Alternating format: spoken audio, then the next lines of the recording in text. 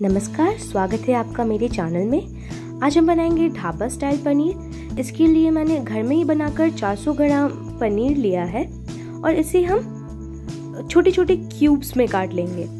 ये रेसिपी मैंने specially bachelors को ध्यान में रख के बनाया है कि उनके पास मिक्सर ग्राइंडर वगैरह होते नहीं हैं तो बहुत ज़्यादा पीसना ये सब ना पड़े मसालों को।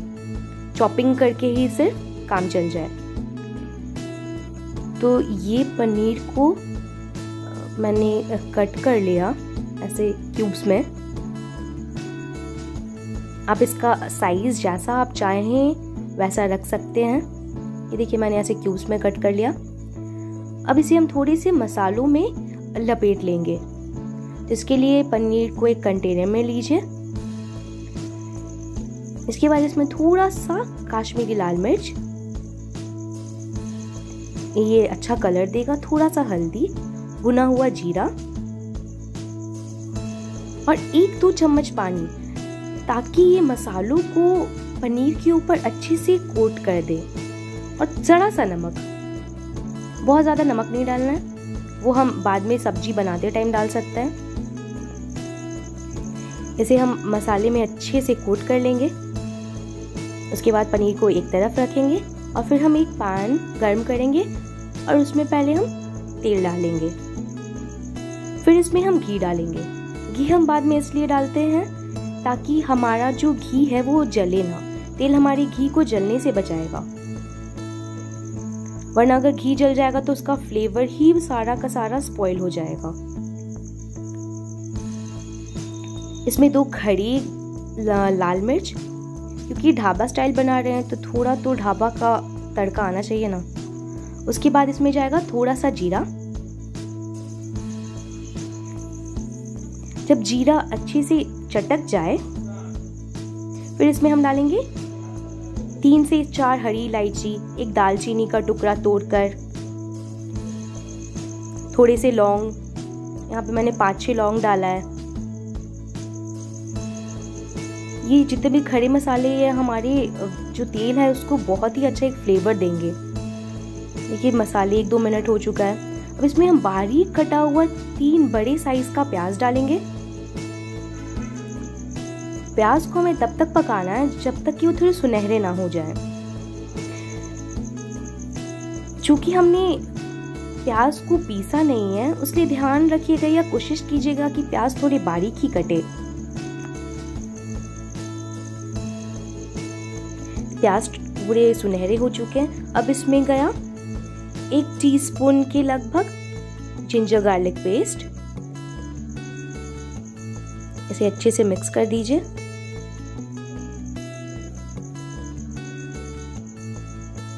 इसमें थोड़ी कटी हरी मिर्च।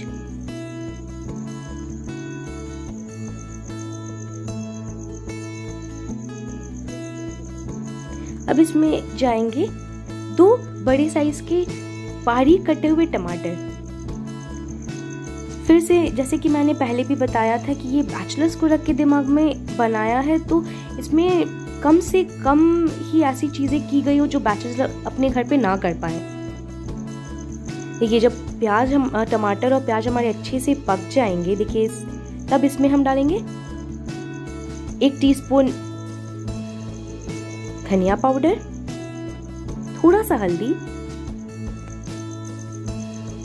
लाल मिर्च एक टीस्पून के लगभग। इसे हम अच्छे से मिक्स कर देते हैं। क्योंकि हमारे मसाले अच्छे से पक चुके हैं तो इसे हमें और बहुत ज़्यादा देर नहीं भुनना है। इसे बस अच्छे से मिक्स कर दे रहे हैं। इसके बाद अब इसमें हम डालेंगे पानी। ग्रेवी की जो भी कंसिस्टेंसी है, आप अपनी इच्छा अनुसार रख सकते हैं। इसे मैंने बहुत ज़्यादा ड्राई या बहुत ज़्यादा ग्रेवी वाला नहीं रखा है। इसमें अच्छा सा उबाल आ चुका है। अब इस स्टेज पे इसमें हम हमारे पनीर के टुकड़ों को डाल देंगे। पनीर के टुकड़ों को डालने के बाद थोड़ा ध्यान रखिएगा कि आप इसे बहुत हड़बड़ी में जल्दी जल्दी ना चलाएँ क्योंकि पनीर थोड़े नाजुक होते हैं तो इन्हें हल्के हाथों से ही चलाएँ। तो इन सारी मसालों को पनीर पे अच्छे से हम लोग लपेट लेंगे।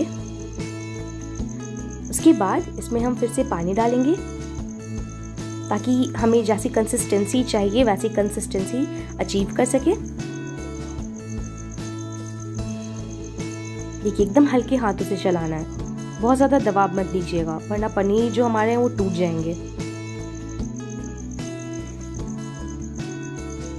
इसमें स्वाद अनुसार नमक, बहुत ज़्यादा नमक नहीं डालेंगे, क्योंकि हमने पनीर को जब हम मैरिनेट कर रहे थे, तब भी थोड़ा उसमें हमने नमक डाला था। अब ये आखिरी में हमारा गया एक टीस्पून के लगभग गरम मसाला। अब एक से दो मिनट के लिए हम इसे पकाएँगे और अभी इस स्टेज पे हम कसूरी मेथी को ऐसी हथेलियों के बीच में थोड़ा क्रश करके डाल देते हैं। थोड़ा सा पानी और, क्योंकि ये मुझे थोड़ा सूखा लग रहा है।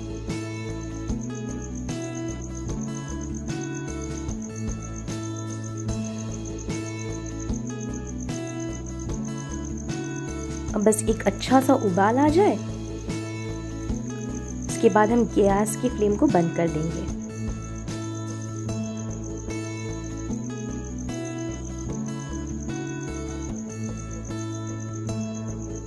इसे ढक देते हैं ताकि उबाल जल्दी आ जाए। देखिए, एक मिनट के अंदर उबाल आ चुका है। अब हम गैस के फ्लेम को बंद करेंगे और इसे गार्निश करेंगे हरे धनिए के साथ। चैनल को लाइक शेयर सब्सक्राइब करना ना भूलें और अपना ध्यान रखिएगा। धन्यवाद।